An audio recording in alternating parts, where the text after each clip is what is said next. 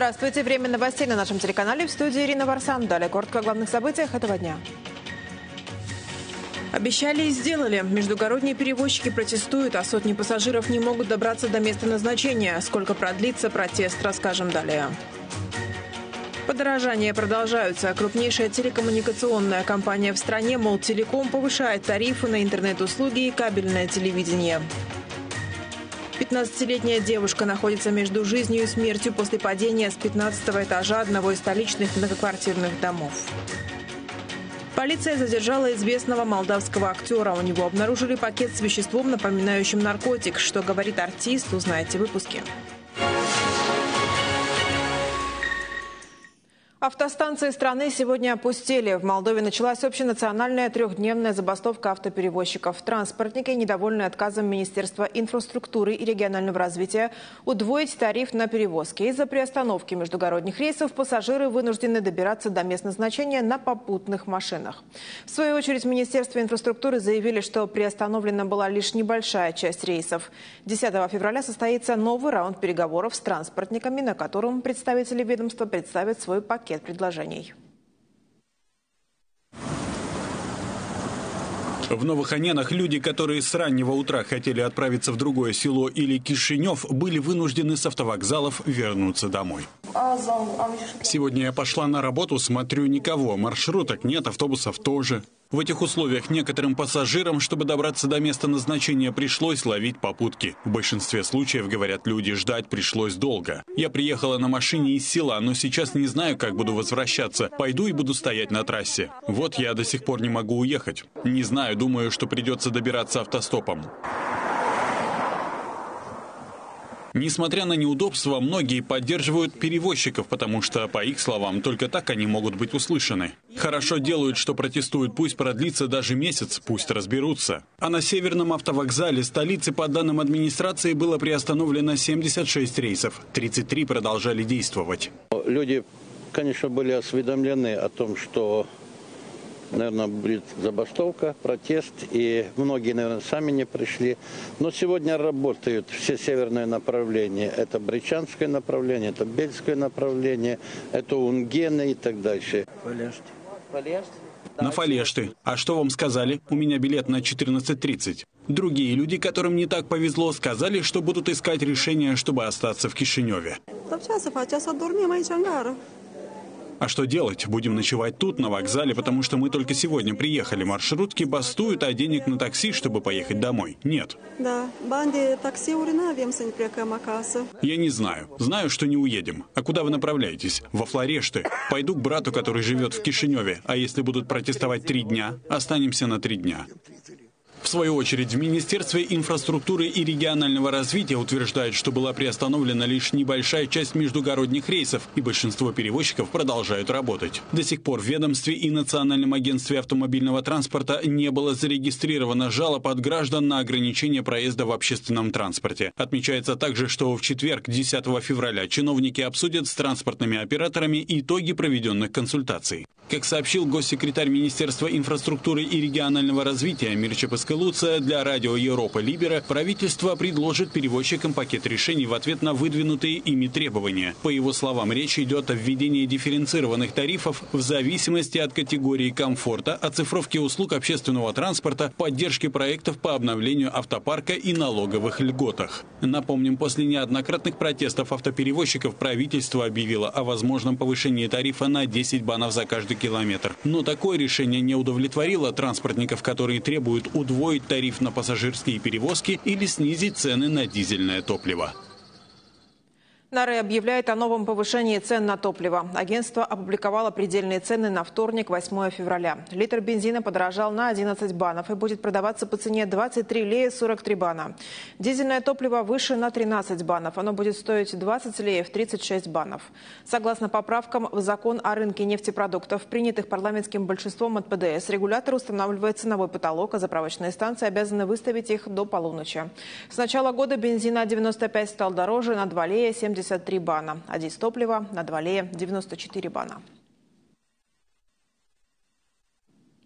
С 1 марта национальная телекоммуникационная компания повысит тарифы на пользование интернетом и кабельным телевидением.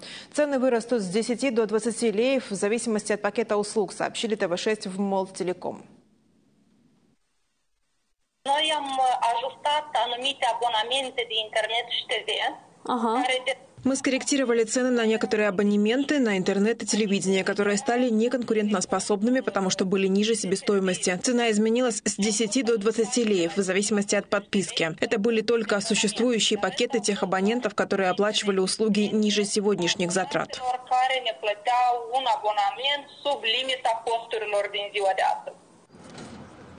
Директор по маркетингу сообщила, что абоненты были проинформированы об изменениях в оплате за 30 дней до этого. А те, кто не согласен с новыми тарифами, имеют право расторгнуть договор без взыскания неустойки. У компании «Молтелеком» около 420 тысяч абонентов фиксированного интернета и ТВ. В администрации президента намерены приобрести цветы на сумму 83 тысячи леев. Это следует из информации о тендере, опубликованной на сайте аккизиции.мд. По данным платформы, из общей суммы, выделенной на эти цели, 33 тысячи леев пойдут на покупку цветочных композиций, 50 тысяч на приобретение цветочных венков.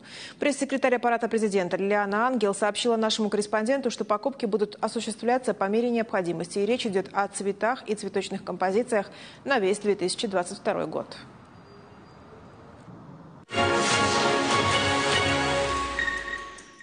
15-летняя девушка чудом выжила, выпав с 15 этажа одного из многоэтажных домов столичного сектора Буюканы. Инцидент произошел в минувшую субботу. Сейчас подросток в тяжелом состоянии находится в детской муниципальной клинической больнице имени Валентина Игнатенко. Врачи говорят, что делают все возможное, чтобы спасти пациентку, которая с многочисленными травмами была госпитализирована в реанимационное отделение.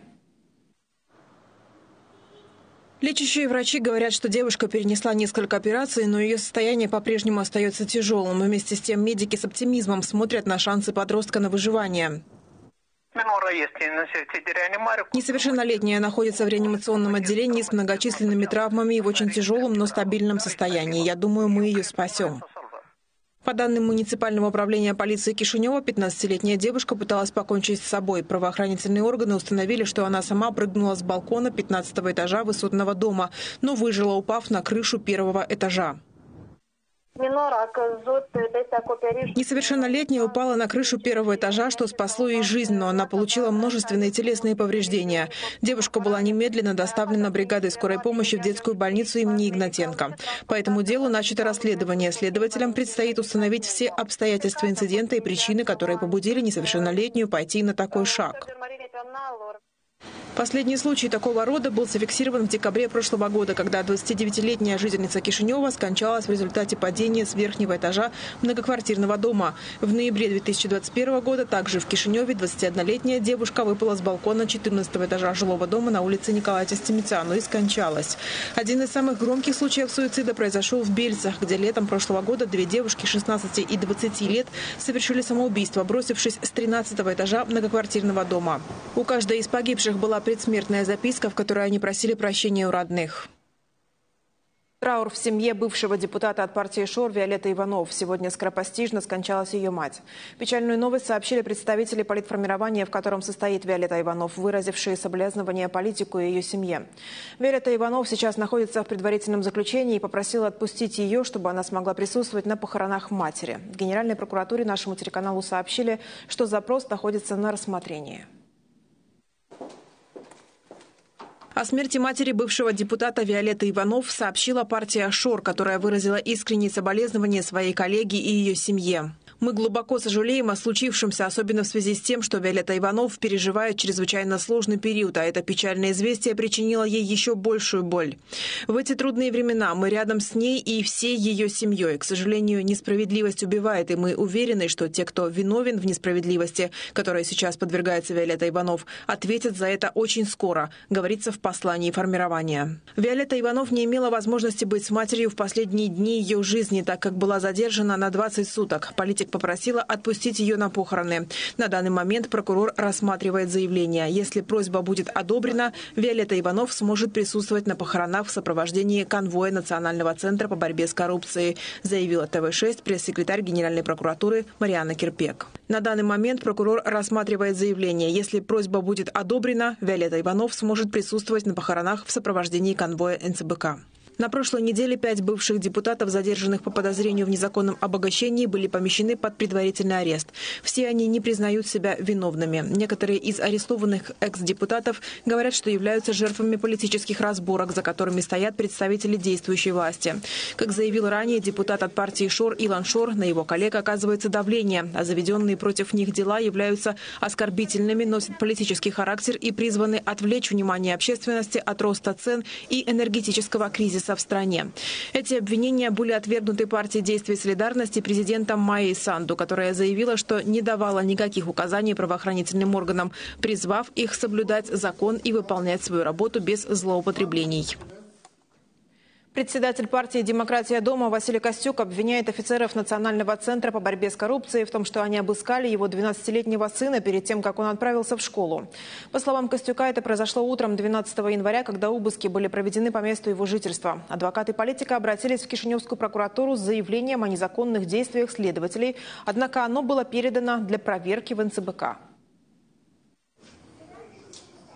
В связи с обыском его несовершеннолетнего сына председатель партии «Демократия дома» подал заявление в прокуратуру Буюкан. 7 февраля он был заслушан по этому вопросу в Национальном центре по борьбе с коррупцией. На основании заявления инициирована проверка, которую осуществляют офицеры того же НЦБК, поскольку, как пояснил адвокат Костюка, один из тех, кто проводил обыски, является сотрудником центра. Сегодня меня заслушали в качестве отца несовершеннолетнего ребенка, которого обыскали. Я подал жалобу. В рамках проверки предстоит заслушать офицеров, участвовавших в обысках, а также супругу политика. Со своей стороны Костюк назвал обыскивание его сына издевательством, в связи с чем обратился в офис народного адвоката. Хочу обратиться к народному адвокату по правам ребенка и во все так называемые неправительственные организации, которые пользуются фондами, получают гранты от европейского сообщества и защищают права детей, чтобы призвать их вмешаться и прекратить подобные злоупотребления в будущем. Омбудсмен Майя Бануреску ответила нам в письменном сообщении, что ее офис проводит проверку по этому факту и позднее будет представлено заключение. Офицер по связям с прессой Национального центра по борьбе с коррупцией Анжела Старинский сообщила, что прокурорам предстоит квалифицировать все действия группы уголовного преследования, осуществлявшей следственные мероприятия. Василий Костюк был задержан 12 января одновременно с бывшим депутатом муниципальным советником Вячеславом Неделя по подозрению к причастности к незаконным сделкам с земельными участками в Дурле. Лештах. Полиция подтвердила свои заявления, которые озвучила около недели назад о том, что в ночном клубе столичного сектора Рыжкановка среди более сотни посетителей не было ни прокуроров, ни судей, ни офицеров НЦБК. Заявления были сделаны на пресс-конференции.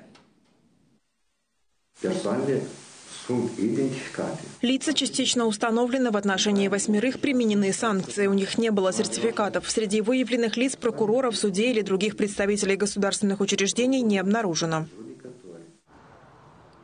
Напомним, на прошлой неделе в ночном клубе Кишинева прошла вечеринка с нарушениями противоковидных мер. Ранее в прокуратуре и в Национальном центре по борьбе с коррупцией заявляли, что в клубе не было сотрудников НЦБК.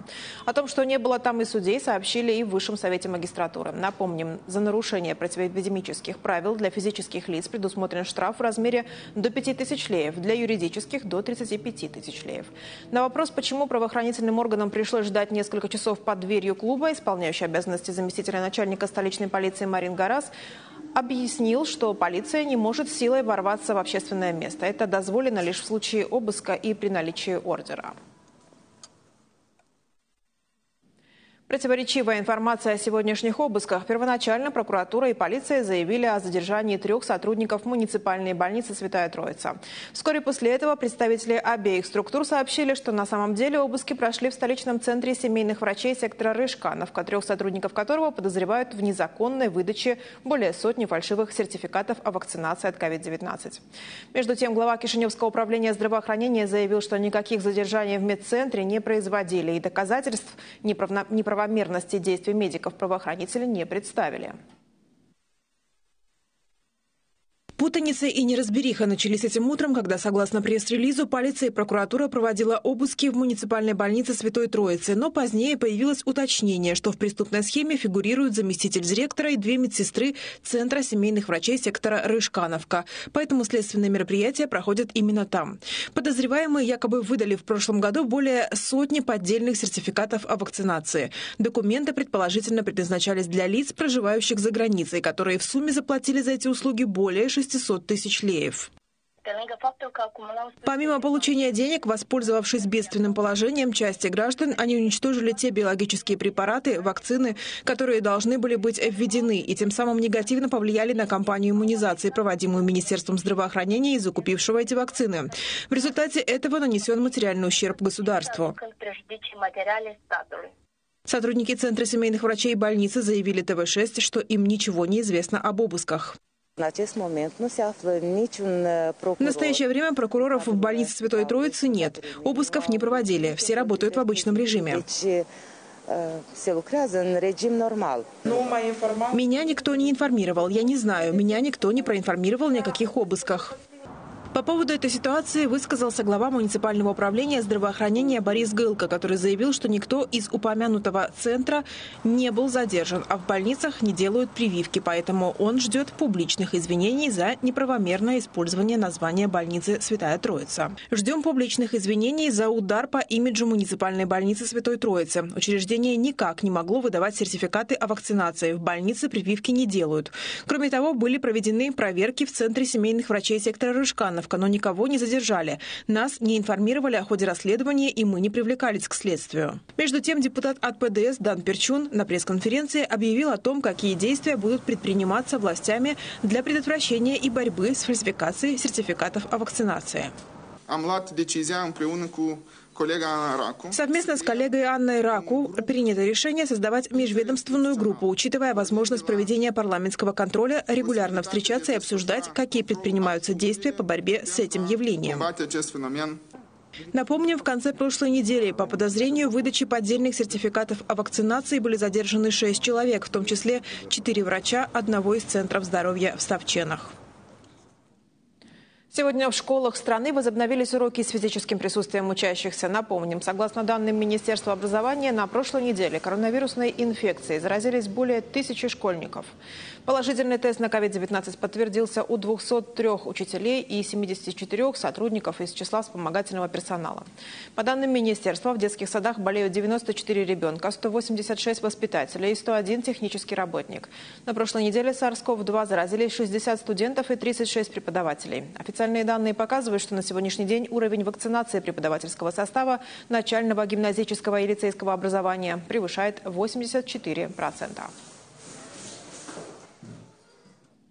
Десятки молодых людей были застегнуты полицией в одном из столичных ночных заведений после полуночи, где они проводили время в нарушении запрета властей, введенного на период чрезвычайной ситуации. Кроме полицейских, в рейде участвовали сотрудники спецподразделения «Фулджер». В результате всем посетителям пришлось предъявить свои сертификаты о вакцинации против коронавируса, выстояв для этого внушительную очередь. Большинство посетителей отказались предстать перед телекамерой. Некоторые из них сказали, что так и не поняли, почему нагрянули полицейские. Было очень прекрасная дискотека, все нормально, у всех есть прививки, просто все без масок. Ну, что, так получилось. Я ставил прививку Джонсон Джонсон себе, чтобы соблюдать те самые меры. Смотрите.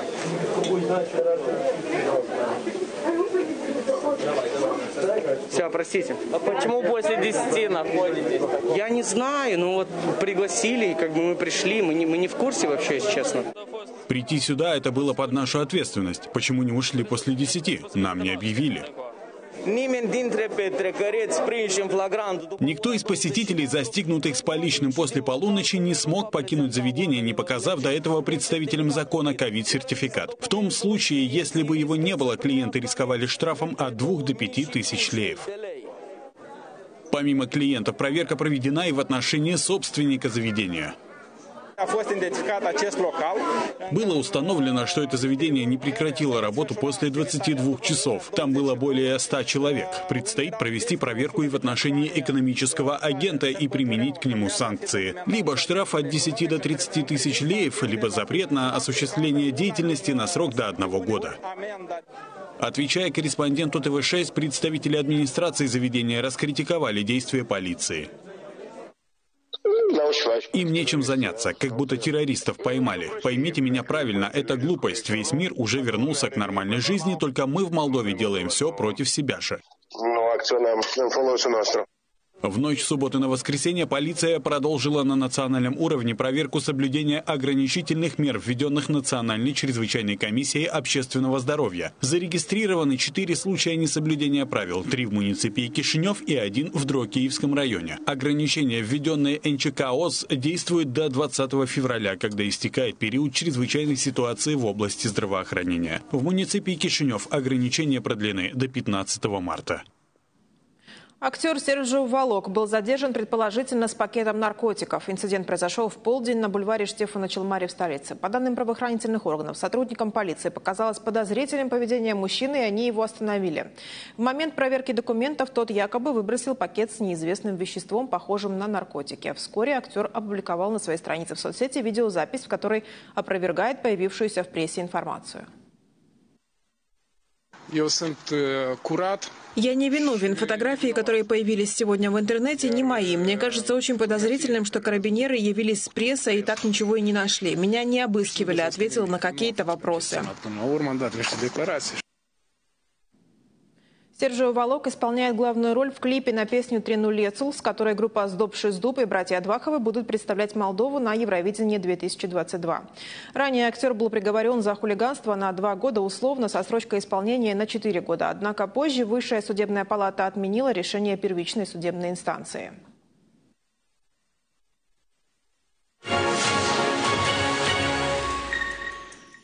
Профсоюзные организации потребовали от правительства как можно скорее перейти к применению нового показателя минимальной гарантированной заработной платы в реальном секторе в размере 3,5 тысяч леев. В связи с этим они обратились к премьер-министру Наталье Гаврилице, указывая на необходимость повышения зарплат в условиях роста потребительских цен примерно на 14%. Отвечая нашему телеканалу, пресс-секретарь правительства Анастасия Табурчану заявила, что данный вопрос обсуждается, и с заявлением по этому поводу Кабинет министров выступит после принятия решения. Минимальная заработная плата в размере 3,5 тысяч леев была одобрена в ходе состоявшегося в прошлом году совместного заседания, участники которого согласились с необходимостью обеспечения последовательного роста гарантий в сфере заработной платы. В настоящее время минимальная зарплата в реальном секторе составляет 2935 леев. Село Хаджимус осталось без примара. Анатол Епури погиб в дорожно-транспортном происшествии. Информацию подтвердила нашему телеканалу бухгалтер примерии села Вероника Урсу. Трагедия произошла в ночь с воскресенья на понедельник на въезде в город Каушаны. По сообщению инспектората полиции Каушан, 68-летний примар потерял контроль над управлением, съехал с трассы и врезался в металлическое ограждение. Удар был настолько сильным, что машина превратилась в груду металла. Водитель скончался до прибытия врачей. По факту происшествия проводится расследование. Анатол Епури Кипре занял пост примара в третий раз по результатам местных выборов 2019 года. Он также являлся ветераном вооруженного конфликта на Днестре. Военнослужащий, предположительно застрелившийся на посту совместных миротворческих сил в селе Гура-Быкул из 2019 года служил в Национальной армии по контракту. в Министерстве обороны говорят, что причины трагедии пока неизвестны. Военнослужащему контрактнику, проходившему службу в совместных миротворческих силах по поддержанию мира, был 21 год, и он был уроженцем Колоражского района. В национальной армии служил с 2019 года. Этот случай расследуется компетентными органами. Согласно пресс-релизу ведомства, солдат-контрактник был смертельно ранен в воскресенье во второй половине дня. Предположительно, он застрелился из своего оружия при исполнении служебных обязанностей. На место происшествия выехала группа криминалистов. Другие подробности пока неизвестны. С начала года в рядах вооруженных сил произошло сразу несколько инцидентов. В начале января в одном из столичных парков двое военнослужащих до смерти избили молодого человека. Еще несколько солдат подрались в общежитии Министерства обороны. А недавно двое военнослужащих во время учений дезертировали с полигона Бульбака, однако позже вернулись в свою часть. В Минобороны говорят, что расследуют все эти случаи. В Республике Молдова волонтерство чаще является необходимостью, чем осознанным выбором. Пожарной станции в селе Бравичи Колоражского района уже давно не было бы, если бы не люди, которые готовы спасать жизни других, ничего не требуя взамен. Местные власти говорят, что стараются мотивировать добровольцев всем, чем могут. Например, выделяют кубометр дров, потому что в бюджете Примории нет денег на выплату зарплаты спасателям-волонтерам. Георгий Мындро – один из пожарных добровольцев в селе Бравича Каларажского района, который рискует своей жизнью, чтобы спасать других. Именно он был на дежурстве, когда в селе кто-то поджег два дома. На том пожаре, говорит, уже попрощался с жизнью. Настолько все было сложно и опасно. Первый раз видел такой сильный пожар. С этой стороны стоял газовый баллон. Если бы взорвался, беды было бы не миновать. А близкие в это время ждали, чтобы спасатели вернулись домой живыми и невредимыми. Я вышла на улицу, и когда увидела бушующее пламя и какой там пожар, молила Бога, чтобы все было хорошо. Люди благодарят добровольных пожарных добрым словом и слезами радости, а местные власти – кубометром дров. У нас нет денег, чтобы оформить штатных пожарных и платить им зарплату. Наш бюджет не позволяет этого. Нас не устраивает, а что мы можем поделать, если парламент не хочет выделить деньги? Парламенту ну врезни даю. Местные станции даже пожарную машину пожертвовали. И поскольку автомобиль предназначен для тушения пожаров в городах, добровольцам пришлось его переделать. Ну а вот э, резервуар для апы? Не было резервуара для воды. Техника рассчитана на работу только с насосом. Подходит для зданий, где есть гидрант. Соединяется с пожарным гидрантом и работает без емкости для воды. У нас это невозможно. Нет пожарных гидрантов возле домов. Ну, объем гидранте. Или Бурли, 63 года. Он говорит, что был бы рад, если бы кто-то из молодых занял его место пожарного, но большинство из них уехали на заработки за границу. Сейчас нет работы с этим кризисом. Худо-бедно здесь получаешь какие-то деньги, а там ничего не получаешь, но делаешь доброе дело. На какие ежедневные жертвы идут добровольцы для того, чтобы пожарная станция в их селе работала, расскажем в понедельник в 19.30 в передаче «Молдова Лапакет».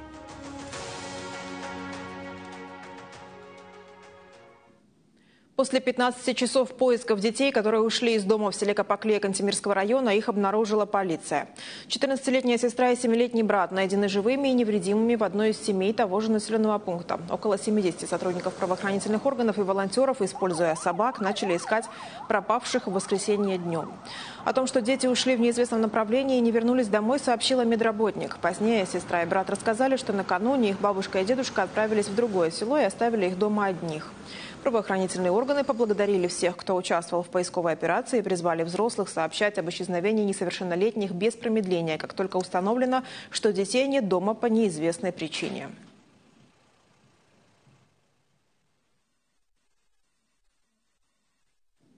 На этом выпуск новостей завершен. В студии была Ирина Барсан. Оставайтесь на нашем телеканале, а также следите за событиями онлайн на сайте tv6.md и на наших официальных страницах в соцсетях. Далее о погоде на вторник. Добрых новостей. До встречи в эфире.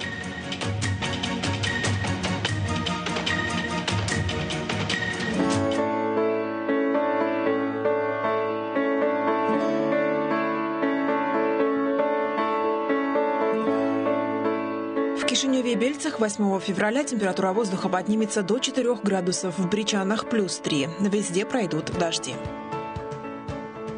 В Сороках, Флорештах и Люшинах 4 градуса выше нуля. Ожидаются осадки. В Аргееве и Дубасарах 4 градуса тепла, в Унгенах 5 выше нуля. Пройдет дождь.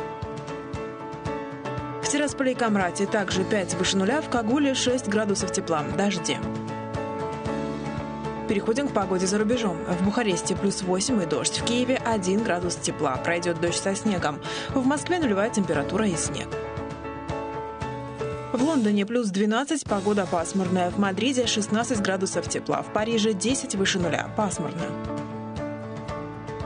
В Риме 13 градусов тепла. В Берлине 9 градусов выше нуля, дожди. В Афинах плюс 12 и тоже осадки.